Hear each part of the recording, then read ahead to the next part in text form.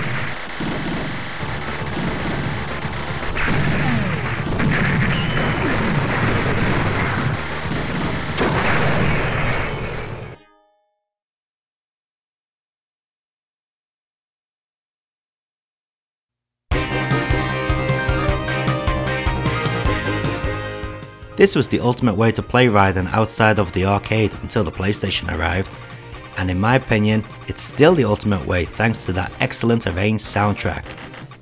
It seems that FM Towns games would quite often feature arranged soundtracks that would not disappoint. Game wise, this is very close to the original arcade in terms of looks and playability.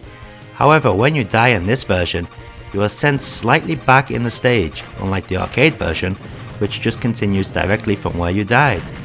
There are a few bonus features in this FM Towns release, such as the option for rapid fire and two competition modes, which are kind of like a score attack.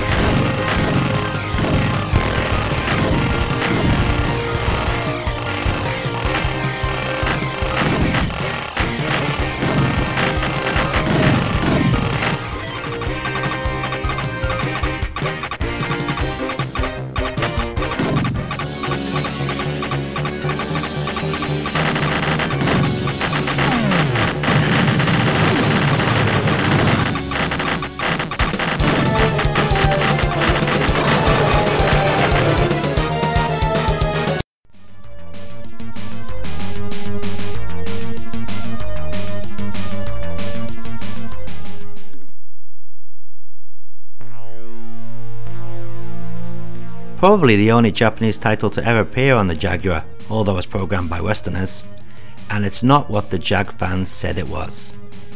Many, if not all Jag fans and magazines claimed that this port of Raiden to be arcade perfect, but anyone with eyes can see that it's not. The backgrounds have been redrawn with a bad choice of colours that clash with the enemies, causing them to blend in with the backgrounds in some areas. Not only that, the whole experience plays quite sluggish. This is definitely not a patch on the FM Towns version or even some of the other console versions. Still, it's not a total disaster, the game does play like Raiden, just a cheaper version of it.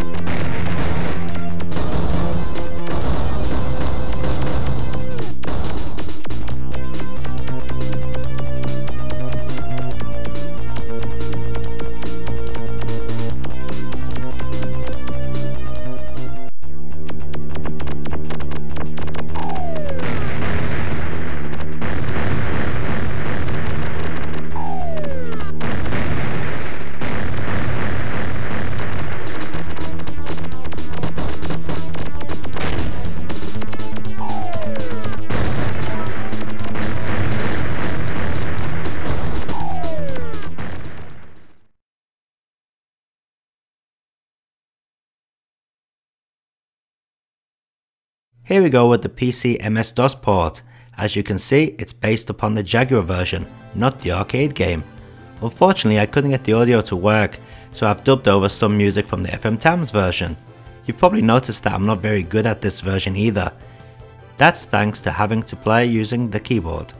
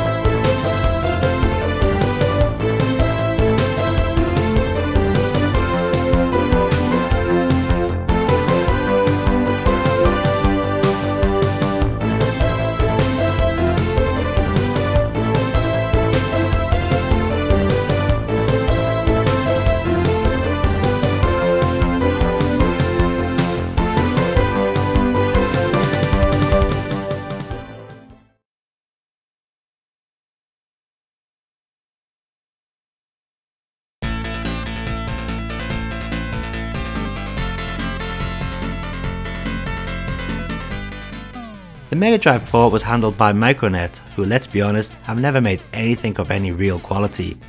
Raiden is yet another victim of Micronet. While it's not a complete loss, it could have been so much better. The colors used are bland, the audio is weak, and the game has that annoying feature of being sent back a little every time you are killed. Still, despite the complaints, this is a pretty reasonable port when it comes to keeping the detail from the arcade game. Micronet sure did a better job than the guys behind the Jaguar version.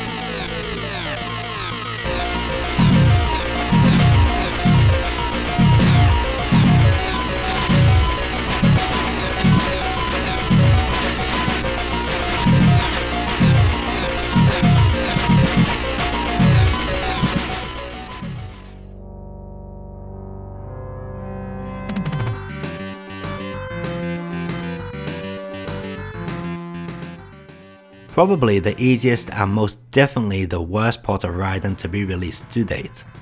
This Super Famicom port was handled by Micronics, who if you didn't know were also behind the awful Super Famicom shooters Acrobat Mission and Speedy Gun Powered, as well as many other poor games. This Super Famicom version of Raiden is very sluggish to play, sounds awful, especially the laser weapon sound effect, and is missing a lot of animation details. Best to avoid this part at all costs.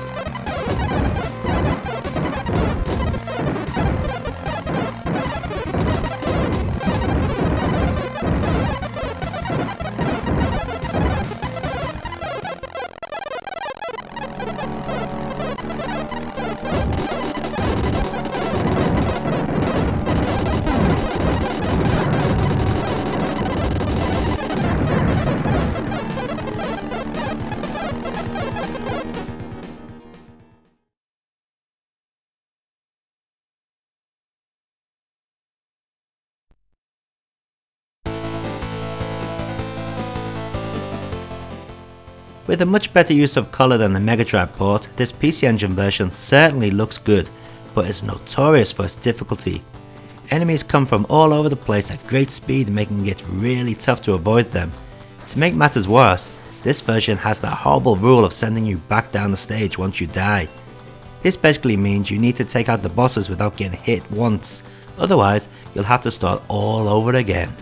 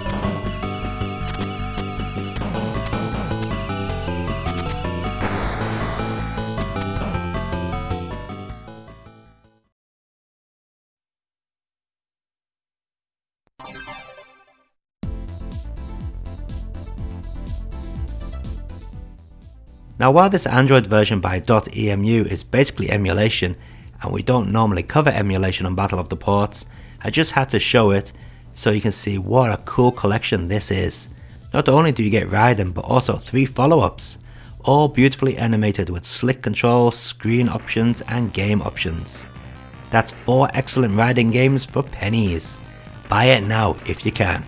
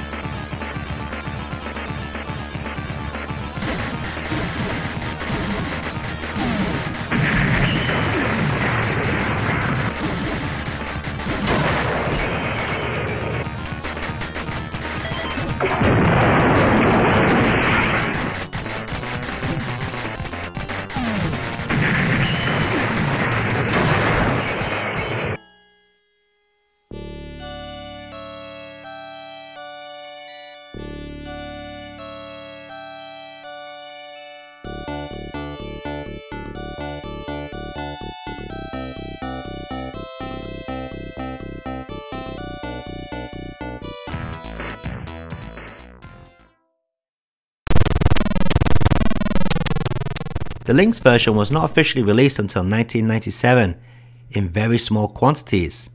It's decent for the portable system and requires that you turn the system on its end, so you get a similar vertical layout to the arcade game. Strangely, the main fighter is blue in this version instead of red.